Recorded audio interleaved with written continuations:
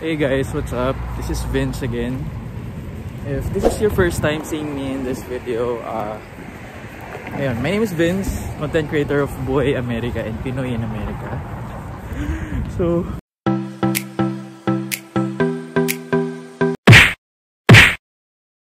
wag, wag kayo magtaka kung bakit same lang yung suit ko kasi same day ko lang sinuot compare dun sa last video ko. I mean, same lang. Tapos, ano ba? So, I got a question sa YouTube channel ko. Um, magkano yung rent dito sa Chicago? Or magkano yung rent? Siyempre, depende yan. So, isi-share ko yung rent doon sa Joliet, Illinois, which is 56 miles away from downtown sa city. So kung sa kilometers, around 90 kilometers yun. Google nyo gaano kalayo yun. Eh yung work ko nga sa downtown. So kapag ganun kalayo, which is suburb or kung tawagin natin is probinsya na.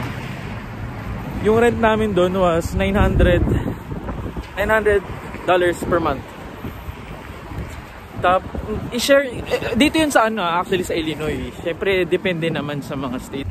Ayun, again, if nakikita mo tong video na to, tapos nasa ibang state ka, share mo naman kung nagre-rent ka rin magkano yung monthly mortgage or amortization nyo or monthly rent para sa mga ibang nanonood. And yun again doon sa Joliet one bedroom yun. Actually malaki yun kumpara sa Pilipinas. Alam nyo ba yung mga one bedroom dito? Malaki. So 900 yun. Ngayong lumipat na kami sa city syempre city to mahal. Tapos studio lang yung nirerentahan ko. Ay, um, around 12 ay, around 1200 jumping pa ako magulat. So yung dito malapit sa city 1200 siya. So 1200 per month. Studio lang.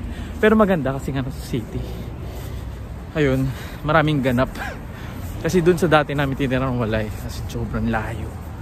Ayun um again if I, I will appreciate if nagre-rent kayo tapos sa ibang state, i-comment nyo. Comment down below kung magkano yung rent nyo kasi gusto ko rin malaman kung reasonable ba yung price ng rent namin or hindi. Kasi wala akong idea.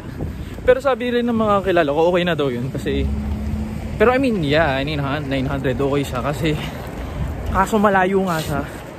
Malayo talaga 56 miles or 90 kilometers. Kaya lumipat kami dito sa downtown. Ulit-ulit.